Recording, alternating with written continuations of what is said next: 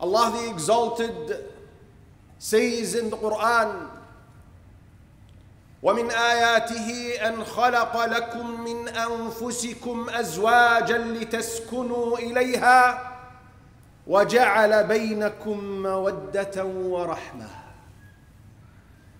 And amongst his signs is that he created for you from within yourselves wives so that you find tranquility with them and he made between you affection and mercy what a beautiful picture drawn for the marital life as it should be in Islam. Beautiful indeed. Love, affection, mercy, tranquility. This is how a man and his wife should lead their lives according to the teachings of Islam. Unfortunately, this was not quite the case before the advent of Islam. See, before the advent of Islam, the wife was demeaned and degraded. A wife was like a commodity for the husband.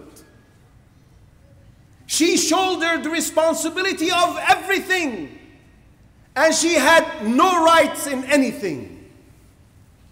She was the one responsible to raise the children, clean the house, cook, bring water from a well or from a spring, go bring the wood to cook or to heat the house, warm up the house. She was the one in charge or responsible, rather, to uh, make clothes, mats, weave tents, everything. And in return, she had no rights. But then, Allah Azza wa Jal sent rescue to humanity. Allah Azza wa Jal sent Islam. And with the advent of Islam, history changed. And the light of justice lit up the world. And wives regained their rights, restored their dignity, and their ranks were raised by Islam.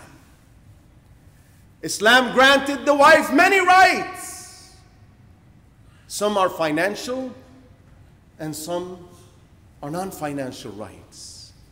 Amongst the rights, the financial rights, Islam gave the wife number one, her right for a dowry. Allah says, وَآتُوا النِّسَاءَ صَدُقَاتِهِنَّ نِحْلًا And give women, upon marriage, their dowry gracefully. Once marriage happened, and that dowry is her right. No one has the right to marry her off without a dowry. Not even her, her own father without her own consent. It is the right of the wife, not her guardian. She is the only one who can say, I don't want it.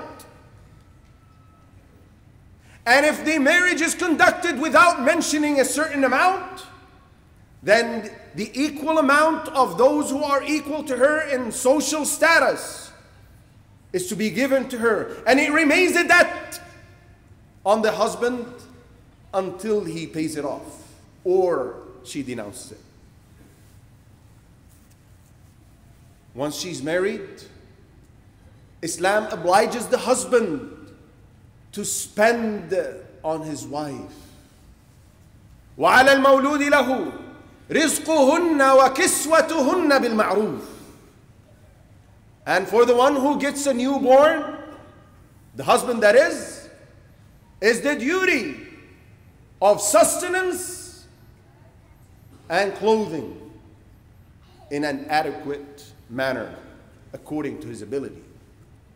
The Prophet ﷺ said, and this is reported by Muslim, narrated by Jabir radiallahu anhu. when addressing the issue of women's right or wife's rights, he said, and they have the right upon you for you to provide for them food and clothing according to your ability.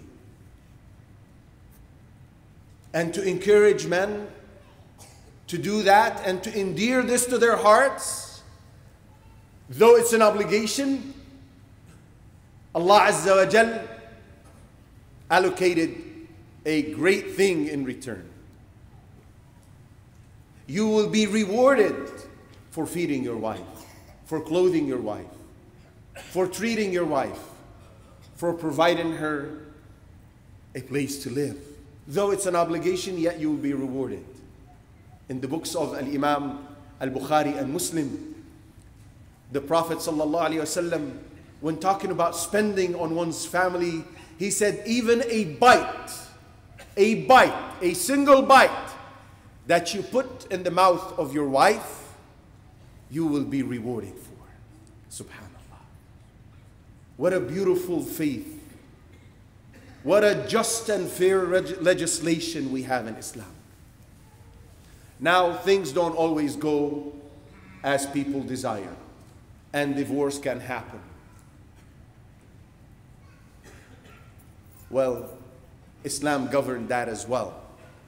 The wife is entitled for food, drink, clothing, a place to live during her waiting period in a revocable marriage. And if she was pregnant, even if the marriage was irrevocable, she's entitled for all of that until she delivers. And once she delivers, if she gets custody, the baby's custody is paid for. Even if she suckles her own child, she has the right to ask for money in return. She's no longer a slave. She's no longer a piece of furniture. Islam raised her, gave her honor and dignity. Now, inheritance is yet another financial right the woman is entitled for.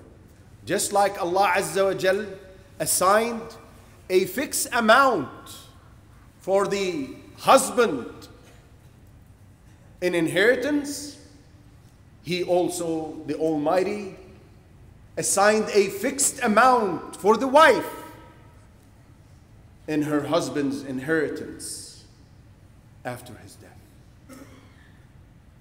Islam gave women many rights, and with regard to financial rights, even this is the case, even if the woman is a wealthy woman. So no one would think, oh, this is because she's poor, she might not have. Even if she is richer than the husband, these are rights, these are obligations upon the husband for his wife. If there is nothing to thank Allah Azza wa Jal for, other than the fact that He made us Muslims, it would be enough. We thank Allah Azza wa Jal for the mercy of making us Muslims. أقول ما تسمعون وأستغفر الله لي ولكم فاستغفروا. الحمد لله رب العالمين والصلاة والسلام على خاتم الأنبياء والمرسلين سيدنا محمد وعلى آله وصحبه أجمعين وبعد.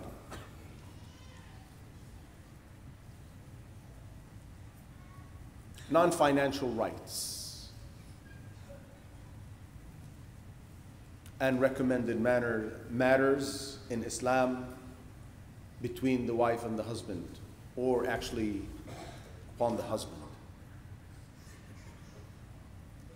Number one is to treat them kindly.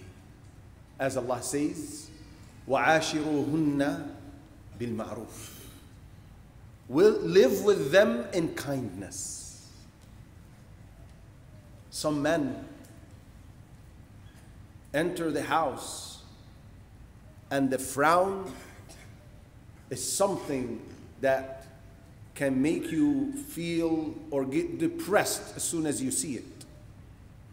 it is as if he is going to launch a war in the house. They misunderstand the authority Allah gave the husband upon the wife or over the wife. And they go back in their behavior to the dark ages when men, when men enslaved women. Allah tells you and me not to do that. He tells us to live with them in kindness, be merciful, be compassionate, be loving, be caring, smile when you see your wife, bring joy to her heart. Don't make her feel that she's imprisoned.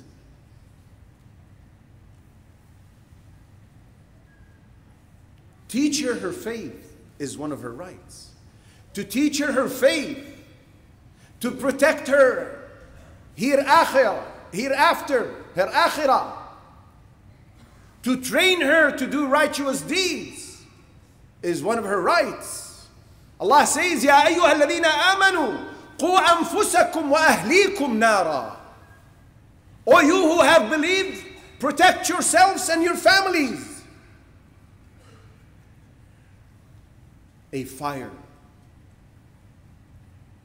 the Prophet ﷺ said, and this is reported by Abu Hurairah, narrated by Abu Hurairah, reported by Ibn Majah, classified as authentic by Al-Albani. He said, May Allah have mercy on a man who wakes up in the middle of the night to pray tahajjud, and then he wakes his wife up to pray with him. The Prophet ﷺ is doing two things here. Number one is supplicating for the one who does what he's instructing. Number two is instructing us to train our wives. Well, first we need to train ourselves to stand up for tahajjud. But once we do that, we need to be as caring and loving towards our wives. Islam forbade us to beat up women. I'm exposed to many cases, some of which the man goes into the house and he starts a, a fist fight with his wife as if he's having a street fight with some gang or something. Breaking bones, breaking teeth, bruising eyes. No, no, that has nothing to do with Islam. It has nothing to do with Islam. The Prophet ﷺ said, and this is in Al Bukhari and Muslim, he said, How can one of you lash his wife, beat her up as if she's a slave, and then come at the end of the day and want to sleep with her? Yes, Islam permitted the man to discipline his wife, but there are stages. Number one, to admonish her, advise her. Number two, to abandon her. Now, abandoning the wife, the way you abandon your wife is another right. The Prophet ﷺ said, and this is reported by Abu Dawood, classified as authentic by Al Albani, he said, and he should not abandon his wife except in the same house. Don't leave the house and stay a month outside the house. And when Ibn Abbas was asked, he said he gives her his back in bed. Now, if this doesn't work, he hits her. Ibn Abbas explained what hitting here means. When he was asked, he said the use of the siwak, not a six foot stick. Or a shoe or a belt or a fist. No. Everything is governed by Islam. Our behavior should be because this is what Allah sent down. It's not up to me and you. And it's not up to your anger to decide what tool to use when disciplining your wife. She is not owned by you. She is your mate. She is the mother of your children. You did not take her from her parents' house to degrade her and humiliate her. You need to honor the wife.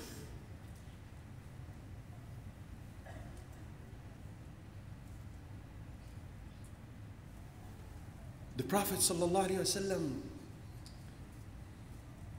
said, and this is reported by Ibn Majah, classified as authentic by Al Albani. He said, خيركم خيركم لأهله. The best amongst you are those who are best in treatment to their wives. وأنا خيركم لأهلي. And I am the best amongst you in treatment to my wife. People of knowledge said that this means this goodness in treatment means giving her all her rights. The Prophet, ﷺ, unlike most of us, was always there whenever they wanted to speak to him and talk to him. Aisha radiallahu anha and this is reported by Al Bukhari and Muslim. Tells us a story of an incident when the Prophet ﷺ walked in, and she told him a story of 10 women who gathered and they pledged to one another not to hold back any information about their households and how their husbands treated them.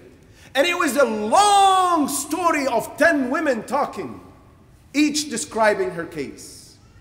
And the Prophet ﷺ sat down, listening very attentively to his wife, Aisha, until she finished. And then after that, he comforted her. He said, I am like Abu Zar' to Umm Zar'. Abu Zar' to Umm Zar' is, Umm Zar' is one of the wives who spoke very highly of her husband and how he kindly treated her. He said, I am to you like Abu Zar' to Umm Zar'. Not only that, even when he was in i'tikaf, when he secluded himself for worship in the masjid during the last 10 nights of Ramadan, Safiya comes to visit him in the masjid. And he would go and sit with her and talk to her and listen to her and then walk her back home in love and kindness and compassion. Life don't always go the way we want. Wives don't always act the way we want. It's a fact. Right? They have some qualities that are not so pleasing, right? But that's because they're human, right? And that has a, that has a cure from the Prophet ﷺ. He said, لا يفرق مؤمن مؤمنة Let not a believing man hate a believing woman. Talking about the man and his wife. If he dislikes a quality in her, he certainly likes many other qualities. This is to tell me and you to remember at the time when the wife is disobedient or acts improperly in the house, reacts in a wrong way, to overlook to ignore. See, it's not manly to always, oh, I'm the man of the house. I have to do this. You have to do this. You can't do this. You must do that. I'm. Yes, this is a fact. And it is our right as husbands. However, for life to go on smooth or smoother, we have to learn, we have to train ourselves how to overlook, how to ignore some behavior when it happens. How? By reminding ourselves with the good qualities our wives possess that are very pleasing to us. Islam raised women and the rank of women in all forms and in all positions as mothers, as daughters, and as wives. Now the responsibility is upon me and you to put this into action and practice. اللهم اغفر لنا ذنوبنا واسرافنا في امرنا وثبت أقدامنا وانصرنا على القوم الكافرين. اللهم اغفر للمسلمين والمسلمات والمؤمنين والمؤمنات.